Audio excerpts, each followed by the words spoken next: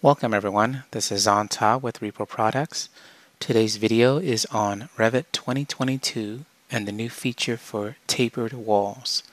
Here I am in Autodesk Revit 2022. I'll start a new project. I'll pick the architectural template file and we'll take a look at this new feature. I'll head over to the wall command and heading over to the type selector, I'm going ahead and pick a few different types of walls to test this functionality. I did test this earlier and found that there are three wall types so far that you cannot use the tapered function on. And that is this first one, brick and CMU on metal stud. Also on the storefront curtain walls, all three of them, and then on the stacked walls they don't have that function capable, but the rest we can. So I'm going to use this exterior brick on CMU. I'll go ahead and draw the wall.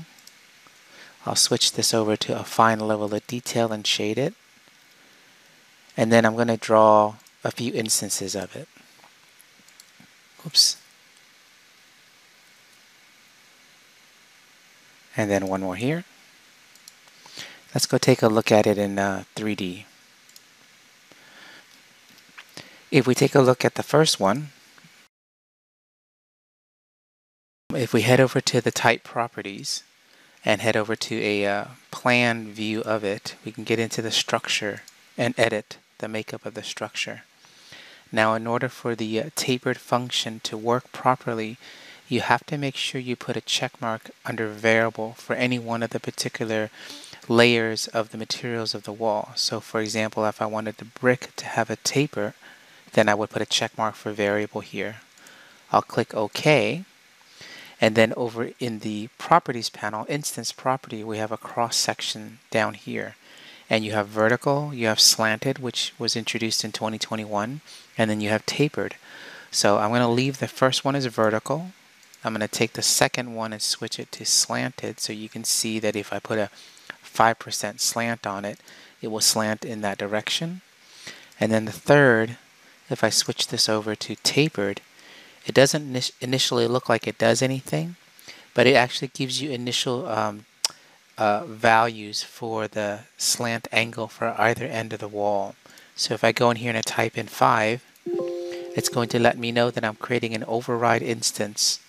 Um, and if I click create an instance override, it will automatically put in the slant at 5 degrees here and over in the instance property you'll see interior angle is at 5 degrees. If I change the top one here that says exterior angle to 10 then you'll see how it adjusts. If I go and take a look at this in section just so you have a little bit better view of what's going on and we'll switch this to a fine level of detail and shade it as well you can see here is the tapered wall and it shows the tapering is just of the brick. The 5% interior angle taper really kind of positions the entire wall assembly and moves it at that angle. So if I switch this back to zero, you'll see that our taper on the exterior end, um, exterior angle side is 10 degrees. Now that's if you put a check mark under the brick layer, okay? If I go in into the type properties again and I change the variable check mark from brick to let's say something like the the core structural boundary layer. That what ends up happening is that that tapering only affects that particular core um, that particular layer. And if you notice very carefully when I go back into the type properties I cannot have more than one check mark for variable for multiple layers of the wall so the minute I check brick, it unchecks the concrete masonry structural core boundary layer. So it doesn't look like I can place more than one check mark for multiple layers.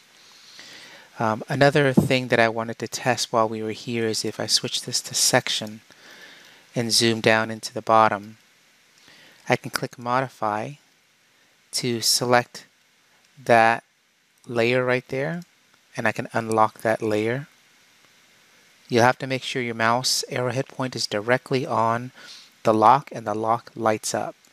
Then once it's unlocked, you'll see that when you go to select the geometry, you'll have an additional arrow. So I'm going to pull this core layer down and you can see how you can make that adjustment. So this change that I made applies to the type property and it's not necessarily instance based. So it affects both uh, the vertical wall and the slanted wall as well as the tapered wall. So if we take a look at this in 3D again and shade it, we can kind of get a better idea of what we're looking at. This is kind of an interesting new feature in Revit 2022 um, to have tapered walls like this because I can see people maybe using it to do a um, retaining wall situation on a landscaping or maybe even using it to do say some kind of uh, buttressing type of situation on a design. Uh, maybe they want to make a fancy column and they don't want to necessarily make a custom column. They can just introduce a tapered wall and have it um, bump out at, towards the base. So that's the uh, new feature for tapered walls in Revit 2022. Thank you very much for watching.